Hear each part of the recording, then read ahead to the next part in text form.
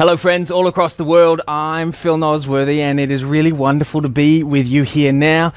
Whether you're watching live or whether you're tuning in at a later point, because I know that everybody's watching now live, but I imagine that some of you are joining after we are finished here today as well. Regardless of how you're joining with us, I'm honored to be here with you. And I want to share a couple of thoughts with you. Now, I want to be clear here right at the start that these thoughts are for you as much as they are for your clients and your partners. But as we begin, uh, I think it is necessary to call this for what it is 2020. What a wild time, huh? Unexpected, unpredictable, very real challenges. The emotions are high, stress is very, very high. And here in Australia, let alone wherever you are on the planet, whether it's been fire or flood or worldwide pandemic and economic collapse, worldwide social upheaval, locusts in Africa, is anybody watching this? It seems that life has thrown us all every potential and possible curveball in 2020. And so, over the months of this year, I've been advising partners around the world and even suggesting to friends the exact same strategy, and that is to rise above the emotional chaos of the current moment. It's something that is far easier to say than it is to do, but the importance of it is significant. You see, we cannot lead others effectively if we're not first leading ourselves. Uh, we know this that leaders who cannot manage their own emotional turbulence, they actually have very little to offer others at moments like this. And that's always been the case. But my goodness, hasn't that truth been so clearly laid bare in businesses and organizations all across the world right now? This is a time for leadership genuinely like no other. Perhaps unique in the history of our species, in Jungian psychology. And I really like the work of Carl Jung, the archetype of the king and queen, which are the dominant characterizations of the leader within you. It's a story that is told around what it looks like to be a great leader. Those two archetypes, those two characters, they're defined by two wonderful virtues. If you're taking notes, these are two words to just commit to paper right now calm and dynamic. Let me say it again calm and dynamic. That's the, the virtues of great leadership. I mean, have you ever met a leader like that? They could be carrying the weight of the entire organization on their shoulders, but they remain calm and they remain open to possibility. And these are the two virtues that allow innovation and new thinking to thrive. Your ability to innovate and inspire energy and action Man, that's vital right now. And as it turns out, being calm is as contagious in teams as panic and despair and bitterness. And so, our ability to rise above the chaos and to lead ourselves personally is critical not only just for ourselves, but for the people that we impact. And, and I guess this is my work. I work in very deep ways with teams at organizations of significance to amplify personal and emotional leadership in ways that accelerate personal fulfillment, leadership impact, and the performance of teams. After all, we never go professionally where we are afraid to go personally. And you see, there is a perfect correlation between who you are right now and how you will lead at moments like this. The masterwork of leadership at all times will always be found in ways that people are willing to lead themselves. And the same goes for you. This is not just for them. Because you know that for your team to be agile, you've got to be agile. And for your team to be empathetic, you've got to be empathetic. And for your clients to feel safe, that you've got to know how to create psychological safety, which means, first and foremost, being centered and calm yourself.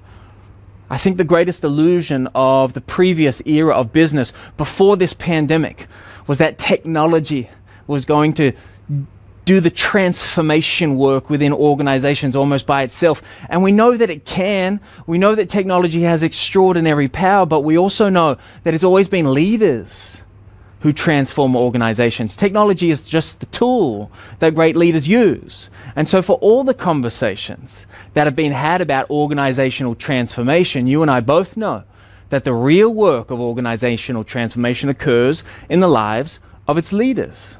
This is significant. This is an important point. And I call this transformational shift towards personal leadership as the core art and skill and practice and craft of leadership, I call this idea convergence.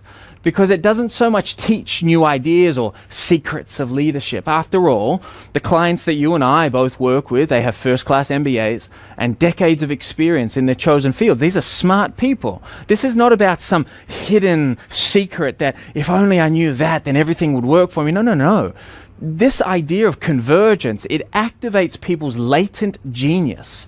It brings to life the potential that they have, the sleeping and dormant potential that already exists in their lives.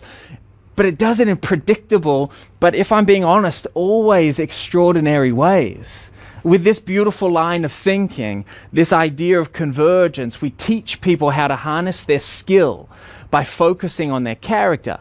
We teach them how to do less better by putting what they already know into practice before they uh, get addicted to new information that they do, don't do anything with. We teach leaders how to prime performance and the impact by elevating their levels of forethought and preflection. We switch on self reflection in ways that really genuinely stun people.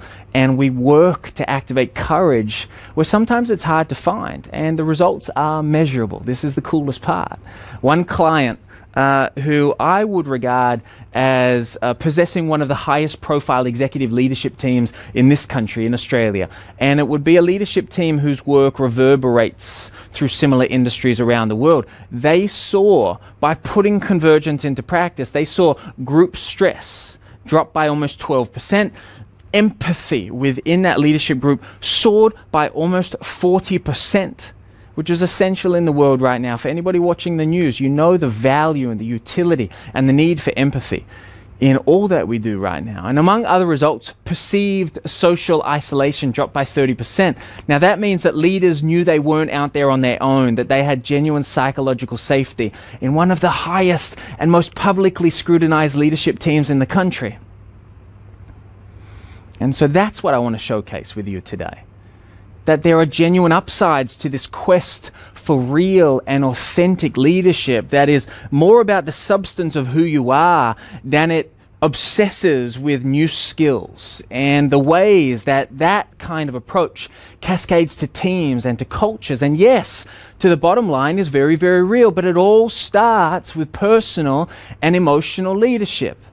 And to understand convergence well, I think we should be smart to start with Viktor Frankl's timeless wisdom, which has given extraordinary power to countless people over the years all across the planet. He suggests this that between stimulus and response that there's a gap that if expanded creates wisdom and freedom for us in our lives. And we've got to then take full responsibility for our own selves. And this doesn't negate the unique challenges or the privileges of every single person on this call, but it does challenge us to deal with life as it presents itself to us through our circumstances. And Frankl, if he was here with us, he would go on to say something like this Everything can be taken from someone but one thing and that's the last of the great human freedoms, and that is to choose one's attitude in any given set of circumstances, to choose one's own way. So critical. Why? Because we can't control what happens outside of us, but it is our full and complete responsibility to control how we respond to it. If He were here with us, he might go on to say this every day, every hour, we are offered the opportunity to make a decision a decision which determines whether we would or would not submit to powers which threaten to rob us of our own selves, our inner freedoms, powers which determine whether or not we will end up as the plaything of circumstance. Now, those initial responses to what happens to us in life, they're critical for what will happen throughout our lives. But all this talk about, you know, uh, emotional leadership and expanding the gap between stimulus and response, it does remind me of an ancient tale, and, and it's one that I want to share. It's an ancient Chinese tale about a farmer with one horse and one son. Maybe you've heard this one, it's a classic. It's, it's, it's been around for a long time and for very good reason. Now, this farmer, one horse, one son, he had very little, but over the years he had learned peacefulness and contentment. But one day, his only horse, it broke free and it ran away. And his neighbors, they came around immediately saying, What terrible fortune! The gods obviously don't favor you. To which he could only respond, Maybe. I guess we'll have to wait and see. Now, the next day, his horse returned, but when he came back, his horse was leading 50 wild horses that he and his son were able to round up and secure in a pen. Now, of course, his neighbors rushed over to say, What good fortune! The gods obviously favor you highly. To which he could only respond, Maybe. I guess we'll have to wait and see. Now, the next day, his son was breaking in one of those wild ponies, but he fell off the horse and he broke his leg. Now, his neighbors came back around, and you can imagine what they were going to say. They said this What terrible fortune! Clearly, fortune has abandoned you. To which he could only respond, Maybe. I guess we'll have to wait and see. And the day after that, this is the fourth day, the king's guard came to the house to enlist his son because a great and bloody war had broken out all across the empire, but his son couldn't enlist for war because of his broken leg and was saved from almost certain death. Now, once again, the man's neighbors came around saying, What incredible fortune. Clearly, this was fate's plan all along. To which the man replied, And now you know the rhythm of this tale. Maybe. I guess we'll have to wait and see. Now, I love this old story because it reminds me not to jump to conclusions about what is working for me or what is working against me in life. Right now, life has thrown you a curveball. There's no doubt about it. Something unexpected, something that you could not or did not anticipate. The wisdom involved here is to expand the space between stimulus and response. The encouragement here at the basis, the foundations of emotional leadership is to hold off on our split and emotional assumptions of to whether this is going to be a good thing or a bad thing. And this is where Frankl would remind us that what happens to us in life is not what defines us. Instead, our responses to those things, that's what defines us. This is a time for learning to manage our emotional responses to what's happening to us. And with time, and despite the very real challenges, no one's making light of that. But I do have a hunch there's going to be things inside this moment that in time we will be grateful for. And to achieve this, there's a very real imperative to create more space in our lives for reflection and growth. Now, Joseph Campbell, the anthropologist, he might say something like this that this is an absolute necessity for anybody today. You've got to have a room or a certain hour in your day where you don't know what's in the newspapers that morning where your mind can peel away from the drama of the day, where you can just step outside of your own ecosystem and bubble, a time in each day where you can simply be and bring out what you are and what you might be. And this is the place of creative incubation. This is where leadership is formed. You might find at first that not a whole lot happens in that space, but eventually something indescribable will happen. It's fair to say that very recently, our life has become so economical and practical in its orientation that as we get older, the claims of the moment upon us are so great that we hardly know where on earth we are or what it was that we intended. We're always doing something that's required of us. So, taking time every day to just sit and be in silence and in that time, asking ourselves simple questions Who am I? How am I showing up to life? What do I want from my life today? How do I move forward? Then letting go and letting a stream of consciousness and our deep and earned intelligence just let it supply the answers. Then write them down. And do this every day. You'll be surprised at how situations and circumstances and events and people will orchestrate themselves around those answers. Simple questions have extraordinary power, far more power, I believe, than the supposed insights of experts. That's not to undermine the work of others, but we are the ones that must decide for ourselves. And you have more than enough wisdom for what you're here to do, and it's a matter of bringing that to the surface and putting it into practice. This is a recipe for doing less better. So let me say that again. This is a moment in business and life to do less better.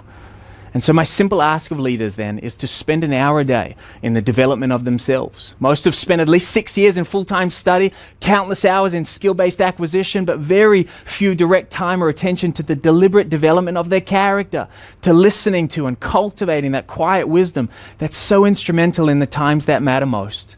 And it's that substance, the depth of our character, that either amplifies or nullifies our skill. In that way, we might be the most skillful person in the room, but if we're prone to bouts of anger, defensiveness, if we're unable to listen to the opinions of others, for the fragility of our ego, or if we back away from challenges when times call for us to lean in, then all the skill in the world will be unable to take us to where we wish to go.